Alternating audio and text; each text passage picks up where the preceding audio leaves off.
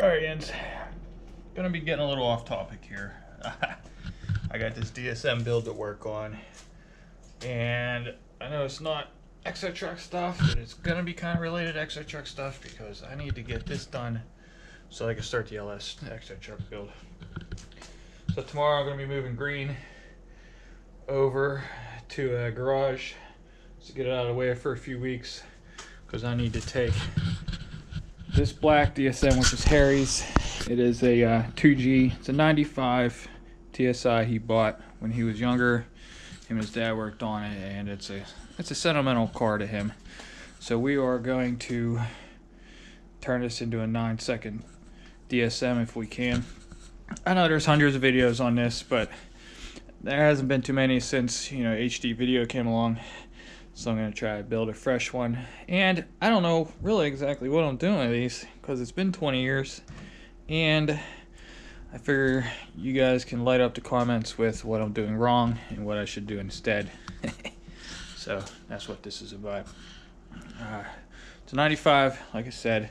But the problem with this, after he got it restored, the guys that restored it, I mean, who knows why, but kind of threw everything away. All the bolts are gone, everything's gone. Uh, the suspension had just enough bolts in it to make it roll, and it's just been a nightmare trying to find parts to get this thing back together. Uh, so he bought a parts car. This is another 95. It's really clean, and uh, I mean, I really feel bad chopping it up, but well, I'm not really gonna chop it up. Hood's that. Shut the hood.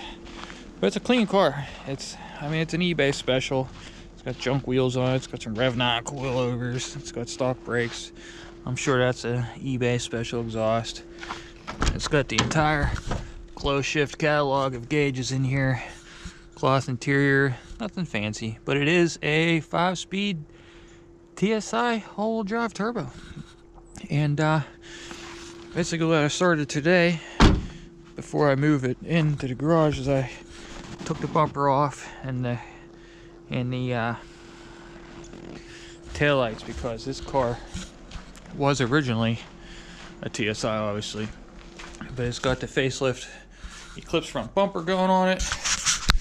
But and it had uh, Eclipse taillights and rear bumper but know, we're gonna go back to its roots on this one put the Talon rear end back on it. Leave the Mitsubishi front end but uh, build it from there.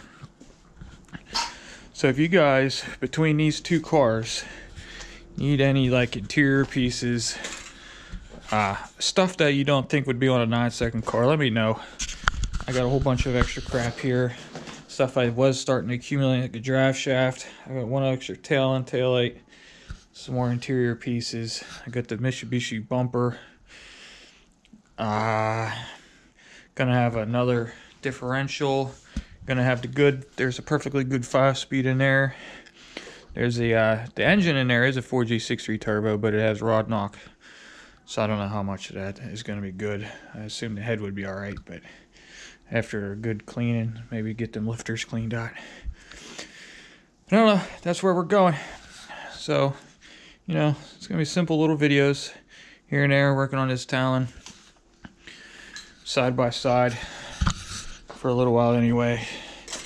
I've been peeping Brad Gary's DSM. He's obviously a lot further ahead. He's had that car almost since it was new. Although I think so is Harry. But uh, Harry obviously has not been working on his the entire time.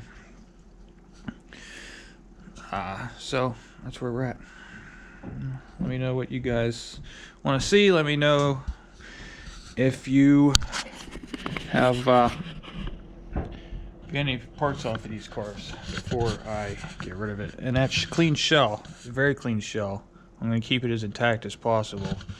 It obviously will be uh, for sale or for someone to come get in a few weeks as soon as I get what I need off of it and make them both roll. I'm going to put, you know, I need the brakes and everything off that one, but the suspension wise, I'm probably gonna put this suspension on that one and that suspension on this one. But it should, they should be a roller, just barely a roller. It's same as this one, one bolt. here and there just to get the thing off the ground. So let us know.